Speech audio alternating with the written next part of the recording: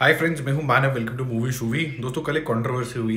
अक्षय कुमार ने एक movie sign करी जिसका नाम था सूर्य राय पोत्रो, और वो हिंदी में भी अवेलेबल है, उड़ान जिसको सूर्या ने किया था, और वो एयर डेकन की उत्पत्ति की कहानी थी। अब अक्षय कुमार की काफ़ी सारे ट्रोलिंग हुई कि भैया, आप बड़े बड़े एक्टर्स भी अगर इस तरीके से रीमेक्स करने लगोगे तो फिर ये जो कॉपी कैट रीमेक वुड जैसे नाम है बॉलीवुड के, कभी भी नहीं हटेंगे।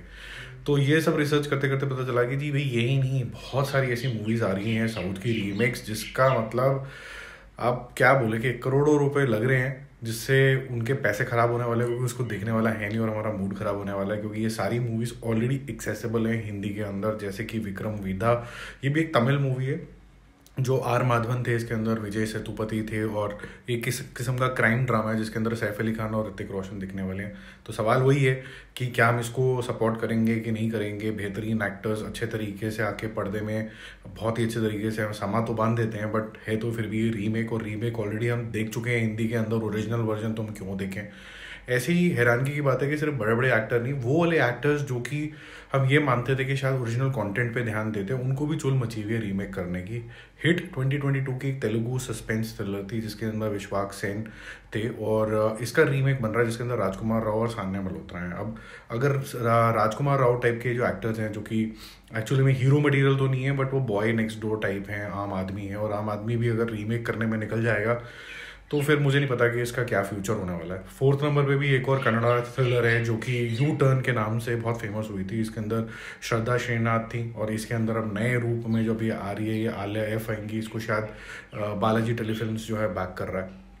एक और बहुत बड़ी तेलुगु मूवी थी जिसका नाम था नंदी। अब ये कोर्ट रूम ड्रामा था और इसके अंदर थे अरारी नरेश। अब इसका भी रीमेक बन रहा है। बहुत बड़े स्टार के साथ उनके स्टार का नाम है अजय देवगन। और अजय देवगन भी काफ़ी सारे रीमेक कर रहे हैं। आ, उनकी जो सीरीज़ आई है रुद्रा वो भी एक रीमेक है। उसके बाद उससे पहले उन्होंने दृश्यम करी थी वो भी एक रीमेक है। आ, ये भी कहा जा रहा है कि शायद अखंडा के लिए उनको अप्रोच किया गया। अब अखंडा हिंदी के अंदर भी अवेलेबल होने वाली है। जल्दी आपको क्यों करने रीमेक मुझे समझ में नहीं आया बट थोड़ा सा डिस्टर्बिंग तो है ही, आपको मेरी वॉइस में भी लगी रहा होगा। फिर उसके बाद एक हेलन मूवी आई थी मलयालम के अंदर। सर्वाइवल मूवी थी। अब इसके अंदर जानवी कपूर आपको दिखने वाली हैं, जिसके अंदर एक कोल्ड स्टोरेज के अंदर एक मैडम फंस जाती हैं, वो सारी कहानी होती है कि कैसे वो सरवाइव करती है। अब जानवी कपूर क्या इतनी कम्प्लेक्स एक्ट्रेस हैं कि वो जो डर का माहौल बनता है एक लोनली सी जगह के अंदर वो कैसे करते हैं। सातवें नंबर पे एक और है जो मेरे को काफ़ी ज़्यादा डिस्टर्बेंस है उससे तो सबसे ज़्यादा डिस्टर्बेंस इसी मूवी से। अनियन करके एक मूवी आई थी दोस्तों इसका नाम था अपरिचित। ये तमिल मूवी है, विक्रम इसके लीड के अंदर थे। और ये 2005 के अंदर आई थी, काफ़ी टाइम हो गया इसको आए हुए। इसमें पर्सनैलिटी डिसऑर्डर दिखाया गया था कि शाम को होता ही वो बंदा जो है वो एक विजिलेंटे के अंदर कन्वर्ट हो जाता है। और फिर जो लोग बुरा काम करते हैं, उनको थोड़ा सा अपरिचित बन के काफ़ी पिटाई करता है।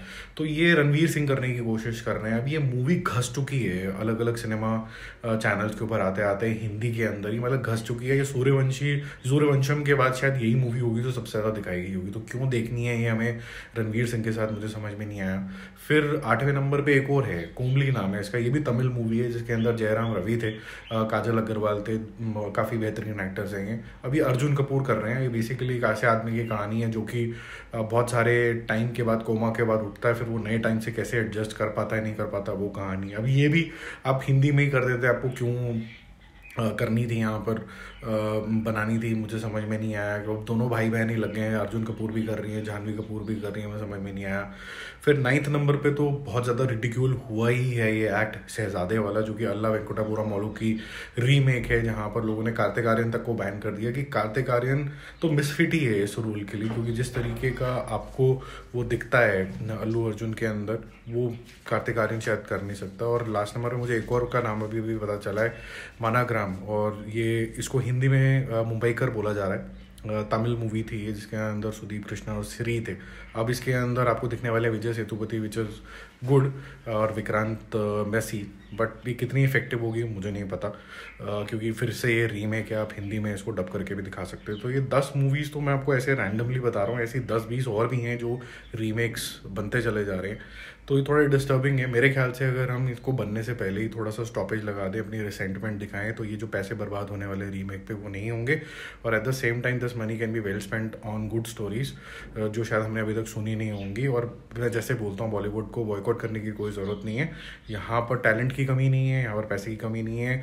जो कमी है दैट इज़ द विल और वो विल तभी चेंज होगी जब तक हम जो मार्केट में कंज्यूम करते हैं उस कंटेंट को, वो ये नहीं बोलेंगे कि हमें ये कंटेंट नहीं चाहिए प्लीज़ चेंज योर प्रोडक्ट तो आपका क्या विचार है? ज़रा इस मुद्दे के ऊपर पूरा ज़रा कमेंट करके बताओ कि आप भी उतने ही ज़्यादा डिस्टर्ब्ड हो, जैसे मैं हूँ कि इतनी सारी मूवीज़ जो हैं वो रीमेक होके आ रही हैं।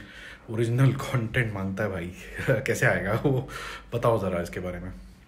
बाय